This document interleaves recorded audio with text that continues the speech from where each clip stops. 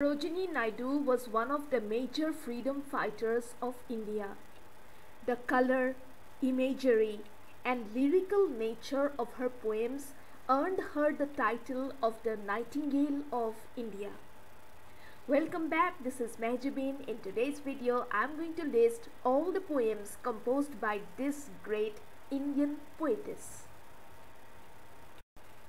A love song from the north a Rajput love song, Alabaster, an Indian love song, Autumn song, Corn grinders, Coromandel fishers, Cradle song, Ecstasy, Harvest hymn, Humayun to Zubeda, Damayanti to Nala in the hour of exile, in salutation to the eternal peace in the bazaars of Hyderabad, in the forest, Indian dancer, Indian love song, Indian weavers, Laili, life, my dead dream.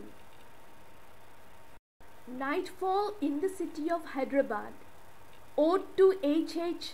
the Nizam of Hyderabad, Palanquin bearers, past and future, Song of a dream, street cries, Sakti, the bangle sellers, the gift of India, the illusion of love, the Indian gypsy, the poet to death, the poet's love song, the queen's rival, the royal tombs of Golconda, the snake charmer, the soul's prayer, the song of Princess Zebunissa in praise of her own beauty, to a Buddha seated on a lotus, to India, to my children, to the God of pain.